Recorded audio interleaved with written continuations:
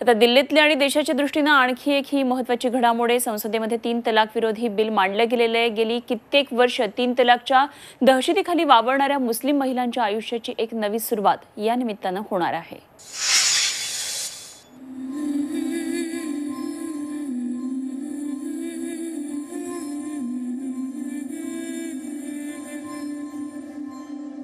किसी को भी तलाक तलाक तलाक चाहे वो औरत हो चाहे वो मर्द हो करके नहीं देना चाहिए। शादी और तलाक कोई बच्चों का गुड़िया गुड्डे का खेल तो है नहीं।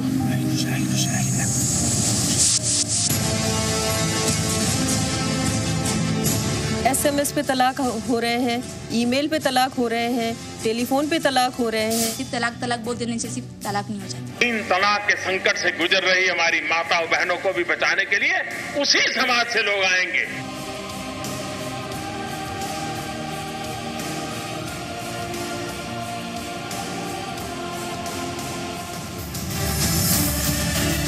प्रॉफिट मोहम्मद ने कहा है कि इसको यूज़ नहीं करना है। इसका तो इस्तेमाल वैसे भी नहीं करना चाहिए। तलाक का सिस्टम को चेंज करना चाहिए ताकि हम औरतों को भी बराबर का हक मिले। तो ये सिस्टम ही गलत है कि तीन बार तलाक कहने से तलाक हो जाए।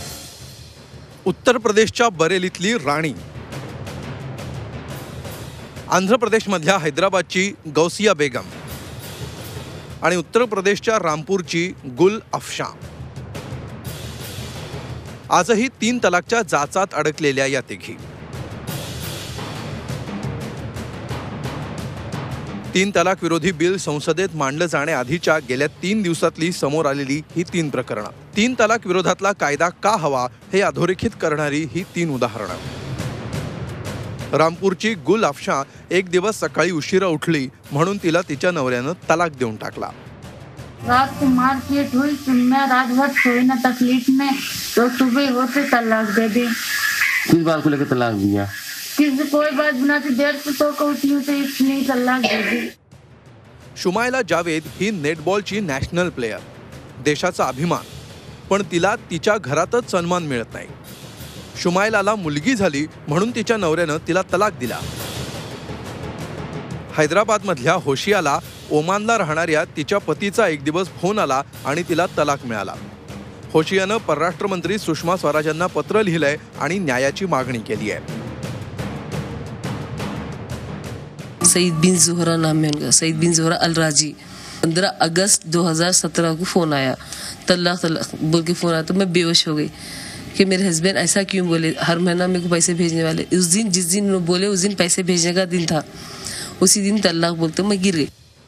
दोन वर्ष चाललेल्या खटल्यानंतर ही लढाई संसदेत पोहोचली आहे आणि त्याला मूर्त स्वरूप मिळत आहे. सभी विपक्षों से मैं उम्मीद करता हूँ और निवेदन करता हूँ वो इसको सर्वसम्मति से पास करा दे। ट्रिपल तलाक कुरीतियों से जुड़ा हुआ मुद्दा है इसका इस्लाम से कोई लेना देना नहीं है। तो निश्चित तौर से हमें जो है वो सुधार की दिशा में आगे बढ़ना होगा। मुस्लिम महिलाएँ हैं उनका जो संवैधानिक अधिकार है जो जेंडर इक्वलिटी का अधिकार है उसको देना है मकसद और वो मकसद दे के रहा जाएगा। छोट्या छोट्या गोष्टींवरून फोनवरून व्हॉट्सअपवरून मेसेज करून तलाक देण्यावर आता बंदी येणार आहे. या निमित्तानं नववर्ष मुस्लिम महिलांच्या आयुष्यात नवा सूर्योदय घेऊन येणार आहे. Bureau report Zee Media.